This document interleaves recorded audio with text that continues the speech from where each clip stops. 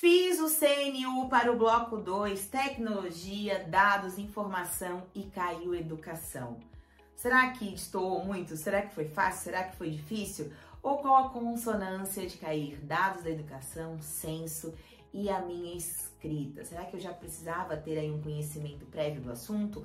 Ou era perfeitamente viável escrever essa discursiva?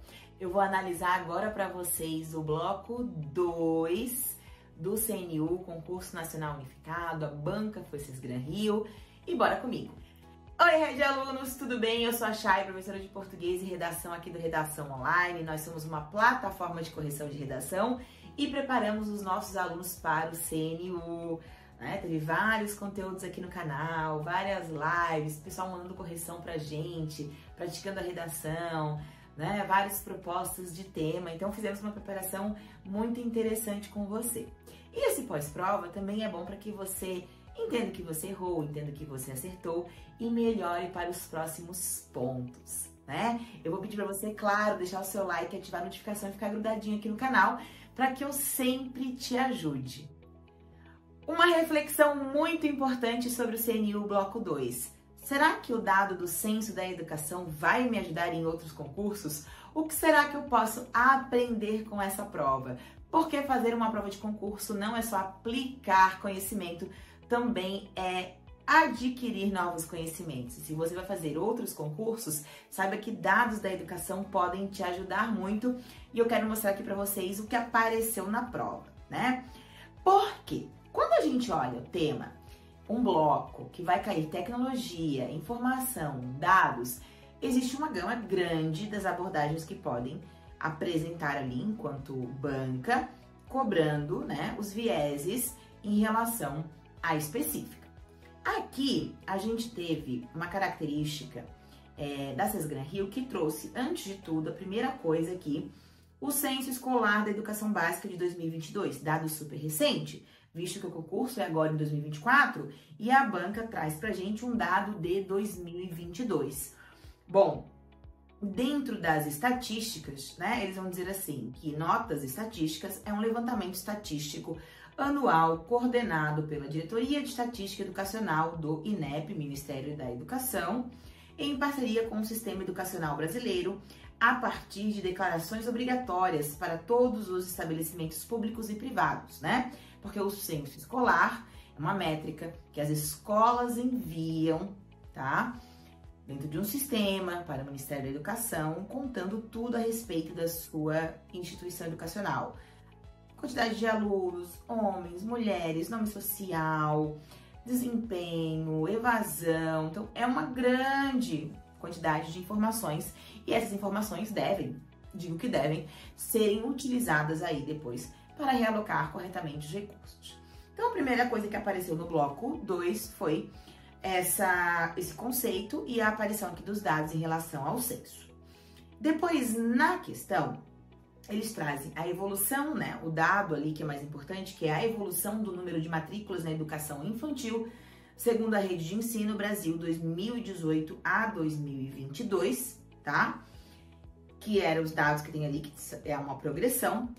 E foi feito o seguinte pedido: elabore um texto dissertativo contínuo de 35 a 40 linhas em que sejam abordados os seguintes aspectos.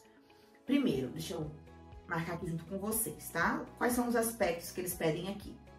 A adequação de visualização oferecida pelo gráfico, considerando considerando-se o objetivo de entender a evolução nas matrículas em suas diferentes redes de ensino ao longo dos anos. Então, pede análise, motivo pelo qual o eixo vertical é apresentado a partir do zero, conhecimento específico.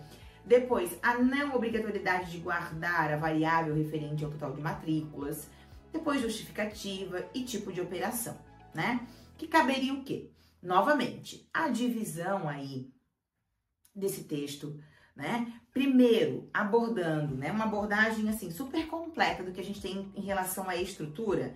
Será que eu poderia ter feito um único parágrafo? Não. Eu deveria ter feito uma introdução? Sim, uma introdução.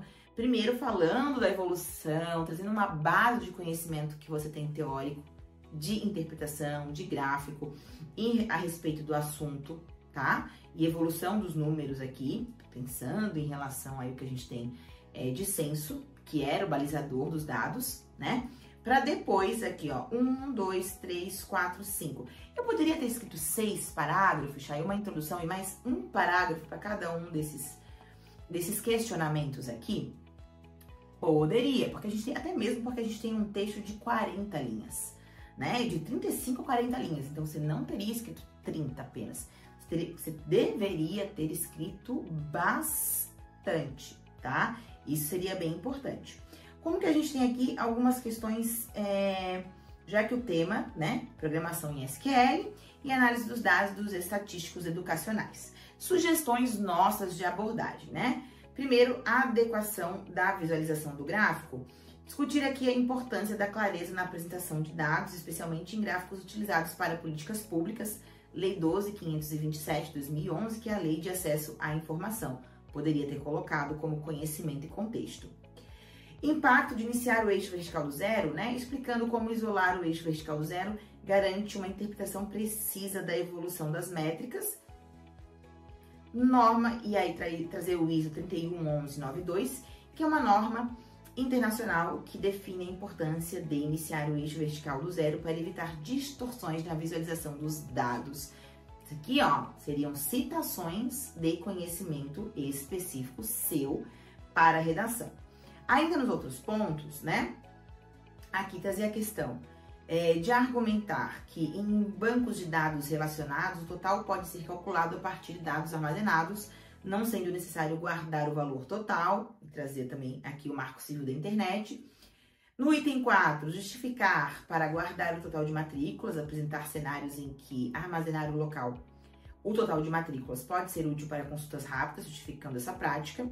E por fim, operação SQL para calcular a guarda total de matrículas e explicar a operação SQL, que permite calcular e armazenar automaticamente o total de matrículas sempre que novos dados são inseridos. E eu ainda faria uma abordagem geral final, né, se tivesse o conhecimento da importância disso tudo relacionado ao censo, né? Aí traria ali um aspecto mais sociocultural para a minha dissertação que não só dados, mas o quanto esses dados impactam nas melhorias de políticas públicas hoje educacionais. Eu traria assim um plus a mais aí nessa redação se eu tivesse feito para tecnologia, dados e informações, que não foi o meu caso, porque eu sou da área de letras, tá? Mas fica a sugestão para você que um texto dissertativo não precisa se basear somente numa entrega de dados, ele pode também trazer o papel social político do que aqueles dados representam, tá?